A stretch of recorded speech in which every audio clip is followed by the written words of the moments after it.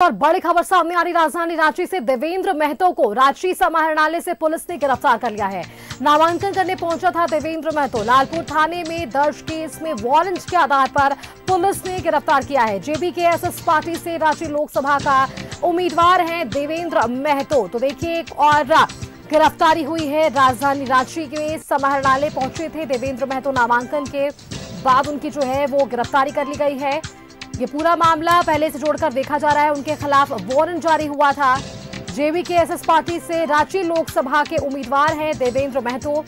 लालपुर थाने में दर्ज केस में वारंट के आधार पर पुलिस ने उन्हें गिरफ़्तार कर लिया। इस वक्त की यह बड़ी खबर सामने आ रही है।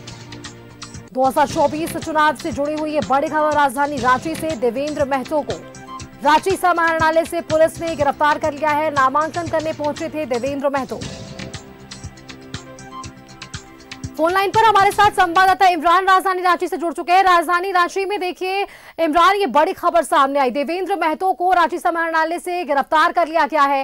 पहले का ये मामला बताया जा रहा है। फ़िलहाल वो उम्मीदवार भी है। क्या कुछ अपडेट है आपके पास, इमरान? देखिए, जिस तरह से पिछले दिनों गिरिडीह में जयराम महतो के नामांकन के दौरान उसे गिरफ़्तार करने का प्रयास किया गया था और अब जब रांची लोकसभा सीट से, उसी के पार्टी से देवेंद्र महतो भी उम्मीदवार के रूप में थे, लगातार।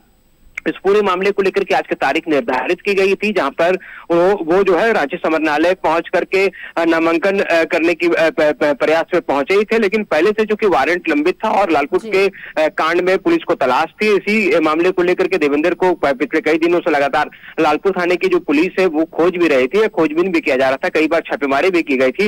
इसी कड़ी में पुलिस को यह जानकारी मिली की आज देवेंद्र महतो, जो कि सोशल मीडिया पर अपने नामांकन को लेकर का एक पोस्ट जारी किया गया था, जिसमें वो कहते हुए दिखाई दे रहे थे कि आज की तारीख में, यानी कि चार मई को वो समाहरणालय पहुँच करके नामांकन रांची लोकसभा सीट के लिए करेंगे। तो जैसे ही वो रांची लोकसभा सीट के लिए नामांकन करने समाहरणालय पहुँचे, वैसे ही देवेंद्र महतो को रांची के लालपुर थाने की पुलिस ने गिरफ़्तार कर लिया। गिरफ़्तार करने के बाद न्यायिक प्रक्रिया के तहत पूरे मामले पर कार्रवाई में पुलिस जुट गई है। वही लंबित वारंट के आधार पर जिस तरह से कार्रवाई की गई है, उन तमाम मामलों को लेकर रांची पुलिस जाँच में जुट गई है।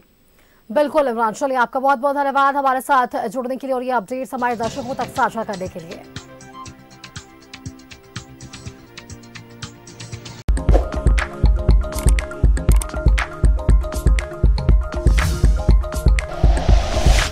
Like and share videos, subscribe करें हमारा चैनल और प्रेस करें बेल आइकॉन न्यूज़ 11 भारत सच है तो दिखेगा।